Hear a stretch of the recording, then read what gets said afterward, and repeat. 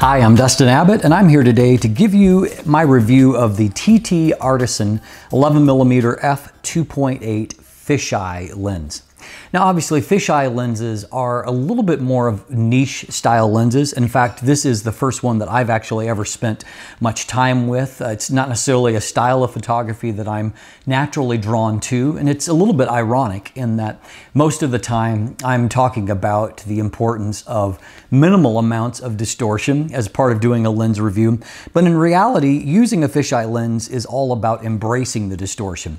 And in fact, it requires a type of photography that rather than trying to minimize uh, distortion, it's really about emphasizing the distortion and using that to maximal effect. Now, it is a little bit more of a challenging aspect of photography, and I certainly wouldn't recommend a fisheye lens as someone's first lens. Um, it really takes a little bit more experience, and it doesn't take long to look at photos taken with fisheye lens to see that there are people that often don't use them very well, to be honest. But uh, I believe at the same time, you can really get some amazing photos, unique photos, obviously, with a fisheye lens. Now, to this point, there really have not been any lenses like this on mirrorless, anything that's quite this wide, and, uh, and then also of this kind of quality. A lot of fisheye lenses, because they are more niche products, tend to be really bargain type lenses. And so they're not necessarily amazing optically. They're not necessarily all that great in terms of their build. The uh, TT Artisan, although this is a new kind of, you know, boutique brand that I'm not previously familiar with, they've really put out quite a mature product here. Now, I'll start off by noting that this is all manual focus. It is, it's manual focus, manual aperture ring, and so no electronics involved here. However, in this case, that maybe isn't as huge a deal as it might be in other situations, and we'll, we'll explore why here in just a moment. And so, uh, first of all, let's take a closer look at the overall build and design, because this is actually a really beautifully made lens and, and certainly one worth taking a look at. First of all, it comes in something akin to like a watch presentation case, and so that's the way that it'll actually arrive to you. And so actually uh, kind of nice, different, better packaging than what I see on some lenses. And beyond that, you can see this is actually a really nicely made lens. Everything is metal and glass, and the lens hood itself is metal. And so it attaches both via suction, but then also you, there's a little bit of compression that takes place there. There is like a, um, a felt that has a little bit of spring to it in there that helps to suck everything on. Now, obviously you have a bulbous rounded front element, and so you are gonna have to work to keep that clean. There is a little bit of a built-in lens hood that helps to protect it from bumps, but you know, there is certainly some vulnerability there, but so far no uh, major issues for myself on that.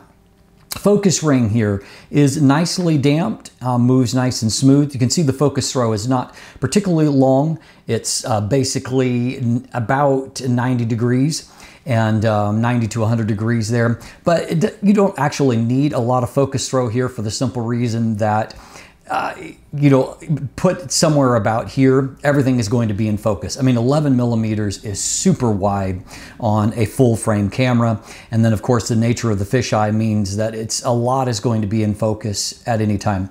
So really the only time you have to play with focus is actually when you're, when you're up close to a subject. And so you can focus down really closely, actually. You can focus down to um, 17 centimeters, and so very, very close, uh, a little under half a foot, or a little over half a foot, I should say. And, um, and so at that focus distance, you do get quite a bit of magnification. However, your image quality is going to be much better if you compose in the center. Now, the other thing here is that the aperture ring, it's a manual aperture ring, but it is a declicked aperture ring and it moves really, really good. I mean, this is, this is actually one of the better feeling aperture rings that I've used. It's just really, really smooth. It's, it's heavily damped, but nicely damped. And so it's, it's actually what you would want and that it's not hard to make changes, but there's enough weight there, it's not gonna inadvertently change on you. Everything is designed around a metal mount here.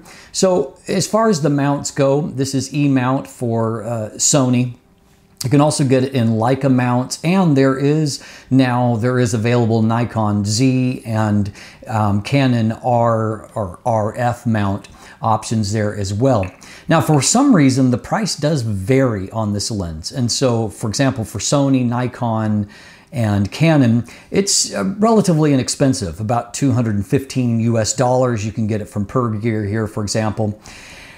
If you go with the Leica M mount, for whatever reason, the price jumps up to like the $350 range. I don't actually know the, the cause of that. I do think that there is a I've read that there is a, maybe an optical accessory that comes with it that may account for, uh, that probably helps you to visualize focus and that is maybe an additional accessory that comes with it. But I mean, really for the build quality of this lens, it is actually, it's, it's that's a great price uh, for a lens that's made this well. So in terms of the basic specs here, the lens is 78 millimeters in diameter, 67 millimeters um, in length, and it weighs in at 439 grams. Optical formula, 11 elements in seven groups, and there are seven aperture blades inside. So as you can see, it is nicely compact, but yet this is a seriously nicely built lens. And in fact, I mean, it's there's not a whole lot here that would set it apart from, you know, when I was reviewing, you know, Zeiss lenses that cost a whole lot more than this, you know, five, six times what this lens uh, retails for. And so it has a similar degree of build in many ways. Um, and so certainly there's I don't have any really complaints about the overall build. I mean, everything works really nice. It's very nicely damped. And so, you know, as always, typical complaints, you know, I would love to see electronics. It does make a difference. Um, but even when it comes to this, it's not as huge a deal because it's going to be pretty easy to identify this particular lens apart from other lenses you use because the images are going to look really, really unique from it. And some, so in some ways, the sorting issue is less of an issue. And so, I mean, but that that's room for growth for the future. I think to incorporate some electronics into the design, to transmit EXIF data, to just make it a little bit simpler to use. And certainly, if you wanted to use any kind of um, any kind of profile or anything like that, all of that is certainly sped along by having electronics as a part of the design. And then, of course, you know, um, a fisheye lens a lot of times will be used outdoors, so weather sealing is another potential area of improvement when it comes to the build. So as already noted, it is a manual focus only lens. The manual focus throw is not particular long and it's probably because it doesn't need to be. Such a wide focal length means that there are only so many focus possibilities. In many situations, you're gonna be able to set your, your focus and pretty much leave it. Um, and so uh, with a, such a wide focal length, everything is pretty much gonna be in focus. And so that's one of the advantages of a lens like this. As far as manual focus goes, it's not all that hard to use because you just need to set what you wanna be in focus and then mostly just go ahead and shoot with it. And so the only time that that changes is when you want to focus on something quite a bit closer and you want to prioritize that at a wider aperture. But outside of that, it's, it's a simple lens to use uh, when it comes to focus. So how about image quality? Now, I will give one caveat in that, uh, unfortunately, due to COVID 19, a lot of the places where it's logical to shoot with the fisheye lens, shooting interiors, um, architecture, is something in cities that is uh, quite common, popular to do with fisheye lenses just to give that, use that distortion in a unique way. And so um, unfortunately, all of those kind of venues have been off limits to me during this time due to being shut down. And so uh, I'm a man of the woods. And so you're gonna get a lot of woods type shots as a part of this. But I believe I can probably demonstrate the points that I wanna make pretty ably despite that. And I've got some photos that I'm proud of that I'll share with you as a part of this. So let's jump in and let's take a look at the image quality. So first of all, you're going to find that trying to do traditional test is somewhat pointless here. And so as you can see, um, the whole idea of the fisheye is that there is a tremendous amount of curvature. You can also see that at very close distances, there is a lot in the frame at 11 millimeters. I couldn't even square up the chart without getting a lamp that was outside. So, I mean, anyway, and here also you can see that trying to test on a flat surface at a close focus distance is nearly impossible. We've got good image sharpness in the middle of the frame, but everything else is completely out of focus due to the field curvature. That being said, there's actually a lot of good things to report here optically. Uh, the lens is actually really, really sharp in the center of the frame, delivering, as you can see, really, really good detail. Mid frame is still very good. And even off towards the edge of the frame, um, image quality is actually still quite good. You can see some lateral chromatic aberration we'll come back to in just a second here. But uh, even at f2.8, um, center of the frame and mid frame is good with corners lagging behind. By f4, the corners start to sharpen up. So this lens actually exceeded my expectations optically. So you have a few options in how you're going to deal with the fisheye effect. You can use, you know, a profile to start to straighten up the lines. You're going to lose a little bit of the frame, but you can also go to the extreme of, um, you know, doing a full correction to where you straighten everything up. So it's pretty compelling if you're going to crop out the edges of the frame. But I mean, really you need to kind of embrace the distortion if you're going to use this lens. So as noted, there is a fair bit of lateral chromatic aberration as you can see here. This is after the one click correction in Lightroom. It's not completely gone. You could probably clean it up a little bit more with an eyedropper, but it's probably cleared out to the place to where it's not a significant factor for images. Certainly not like that any longer. Now, interestingly, um, longitudinal chromatic aberrations are actually really well corrected for. And so as you can see, there is a surprising amount of contrast here. It's really, um, really sharp and uh, so good contrast. And you can also see that there's not really any evidence of uh, either purple or green fringing uh, before and beyond the plane of focus. So as noted, uh, because of COVID, I didn't really have a lot of opportunities to shoot architecture. Fortunately, I was able to shoot this amazing tower here. And so even at f2.8, you can see that there is really good sharpness in the image. Um, and so in good detail here um, throughout this massive, massive tower that I discovered.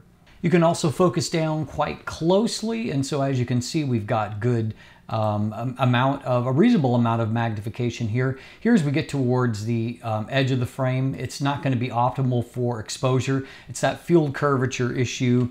And so, um, you know, kind of composing here, I've moved it a little bit further into the frame. And so here I've actually got a good amount of detail, although there is a little bit of a blur type effect that's due to the distortion. You can see that there's a narrow plane of sharpness there that's good, but again, this is more about using it creatively. This is not a macro lens, but you can use it like this to purposefully stretch things and to be creative with your composition. So let's explore that creativity for a moment. And so here out for a hike before everything was uh, kind of clearing up and so you can see that um, really good resolution in the center of the frame but you know just kind of that creative use of the um, curvature here just around the house. You can see again just creatively using that. Now here I've composed in a more traditional fashion and so as you can see there's not nearly as much kind of craziness going on Another popular application for fisheye is in shooting interiors. Obviously, you can get at 11 millimeters, you can get a huge amount of information in the frame. And as long as you're not, you know, this is not architecture uh, photography here, but it is something that does appeal to a lot of people. Another uh, good application of fisheye is to look up. And so in this case, I've used trees. And so you can see it, you're kind of emphasizing that leaning effect anyway, but using it in a cool way. Here's another shot. I actually really like this one here. And you can do the same kind of thing with architecture and buildings as well.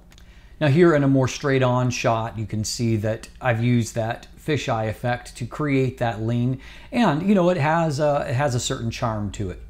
In this case, I actually got right up next to the trunk of this tall pine tree and just kind of use that to the benefit. I shot another shot with uh, in the exact same position with a 50 millimeter uh, lens and the effect is not nearly as intriguing. This is actually a fun image. Now this in particular is, I think, making good use of something like this, really utilizing that distortion. And by the way, you can see how good the sharpness is in this area. And here chromatic aberration is really well controlled. But there is a fun shot that kind of emphasizes that. Here's another uh, using this old vintage dump truck. And you can see the end result of that is something that I actually think is really cool. Also, I point out here that colors are quite nice from the lens as well. Here's yet another, you know, kind of more woodsy type traditional thing, but using that lean to, to a positive effect. Now you can use the lens for portraits, kind of creative portraits. Here I put the subject right in the middle of the frame. I wanted to highlight one other thing here. You can see that there's a bit of noise because I've had to raise exposure because what does tend to happen if you're not careful in certain environments is that it's easy to get underexposed images that's because so much is in the frame that you have to change your metering to accommodate the fact of, you know, more of a center weighted if you're wanting to, wherever you're going to focus. Because if you're kind of evaluating the whole frame, there's a good chance that your total light is going to end up with a an underexposure of where you want it. Here's another use of this where I got actually got right up next to this. It seems like it's a, a ways away. That's because of such a wide focal length. But you can see here again, actually really good color and really good sharpness here in the area that's in focus. So finally, let's talk about flare resistance. And so um, as you can see in this shot, where the, where the sun is near the middle of the frame, Flare is not too bad. I've got a ghosting artifact up here, but you can see the contrast is held up really, really well. And the end result is actually an image that I think is, is really great. You can also see a little bit of the sunburst effect. It's not amazingly defined. Um, it's, it's not the greatest that you're going to find, but I mean, it does do the trick in some situations. Here's another example here where it's, you can see that the blades are not really all that well defined. So sun coming through really brightly here, so you can see a little bit of ghosting artifacts, but again, not bad when you consider how much is in the frame. However, if you have the sun right out of the frame, you're going to see more of a kind of a stronger effect here. And so you can see some ghosting artifacts. And this is probably the most damaging thing that we've seen. You can see a miniature one of these in the reflection here. And so again, it's going to be about where you put the sun in terms of the, the, um, the whole composition. At the same time, because the image is so huge, um, just so much is in the frame, you also don't see these kinds of effects as badly. So I'll have to confess that this lens actually surprised me. I mean, a lens with such incredible distortion and such a wide angle of view. I didn't really actually have high expectations of it being particularly sharp at f2.8. Surprisingly, however, both in the, the center of the frame and mid, and mid frame, it is very strong even at f2.8. And corners sharpen the rest of the way up, f4 to f5.6, making this a really uh, surprisingly useful lens. And so I would say, uh, you know, this is a lens that I actually wouldn't mind hanging on to for the rare occasions when I want to reach for a fisheye perspective because it is, it is easy to bring along, it's compact, but it's also really optically sound. And so it's not priced as cheaply as what the cheap options are out there. I mean, you can find plenty of fisheye lenses for $200 or less. This is a bit more expensive but it's also a much more serious optical instrument. It's also built to much more exacting standards than those cheap options are. And so I think it, if you're interested in what you can do with a fisheye lens, this is actually a very interesting option. The fact that it is designed for full frame, uh, mirrorless cameras. I'm testing on some, you know, to have that option in a lens that's compact, reasonably sized, and so optically good is actually, to me, a, a, lot of goodness that's going on there. So I think it's worthy of your consideration if you're looking for a fisheye lens in particular. I'm Dustin Abbott. I thank you for watching today. If you look in the description down below, there is linkage both to an image gallery, also linkage there to uh, purchase one if you would like to shop for one for yourself. Beyond that, there are also linkage to follow me on social media, um, to sign up for my newsletter or become a patron. Of course, if you haven't already, please click that subscribe button right here on YouTube. Thanks for watching. Have a great day.